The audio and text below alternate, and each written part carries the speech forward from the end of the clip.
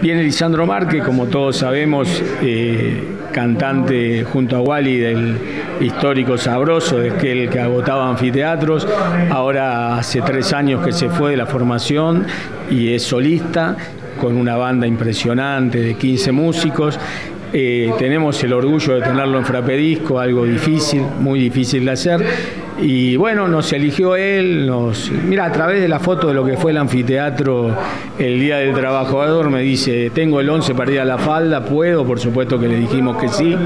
Y así que en 11 días estamos organizando este gran baile que va a ser el viernes escuchando para mí una de las tres mejores voces que tiene la música popular de Córdoba, con una gran banda atrás, con un lugar que tiene una acústica espectacular, por lo tanto vamos a poder escuchar eh, esa voz que tiene Lisandro. Y bueno, hay expectativas, sobre todo en el público femenino, va a pasar algo así como en el Día de la Mujer, yo creo que va a haber tres a uno, tres mujeres y un caballero, porque veo la venta y son todas mujeres, así que tenemos un gran espectáculo en un lugar justo para, para Lisandro Márquez, que es la intimidad, estar todo cerquita del artista. Así que bueno, muy contento trabajando en toda la zona para esto. Tenemos entradas a la venta desde la ciudad de Cosquín a la ciudad de Capilla del Monte, donde. ¿Cuándo se va a conseguir la anticipada, Gustavo? Eh, como siempre, se consigue hasta las 8 o 9 de la noche, depende en qué ciudad, porque de algún lado tenemos que empezar.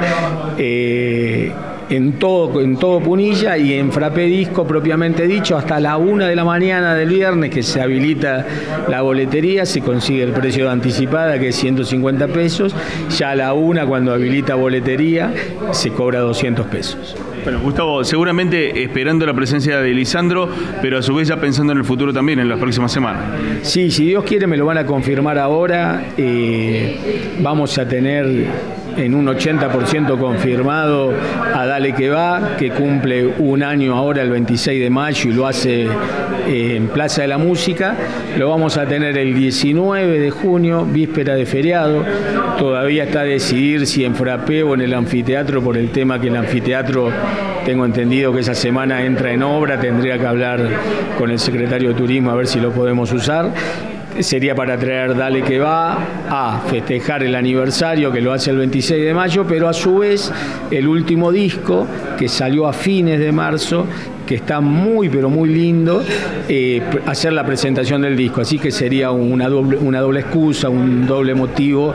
para hacer el 19 de junio, un víspera de feriado, es inamovible el 20, el Día de la Bandera, cae martes, traer un show que hoy día eh, es punta en Córdoba, está andando muy bien en todo el país, no solo en Córdoba, con dos vocalistas espectaculares eh, en la formación, también con una gran banda, y sería el próximo gran evento. Y también estamos trabajando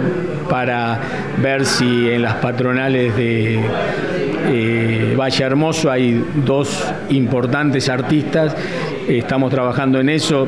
la noticia de quiénes son seguramente te la va a dar la gente de turismo de Valle Hermoso. Y con mucha antelación y ya casi confirmando, estamos trabajando para el sábado 22 de septiembre eh, la patronal de Villa Jardino, donde ya eh, Omar nos dio el visto bueno sobre dos bandas, estamos viendo cuál de las dos vienen y estaría casi concretado esta semana, así que estamos con mucho trabajo, no solo para lo que los nuestros acá en La Falda, sino también para estas dos localidades vecinas.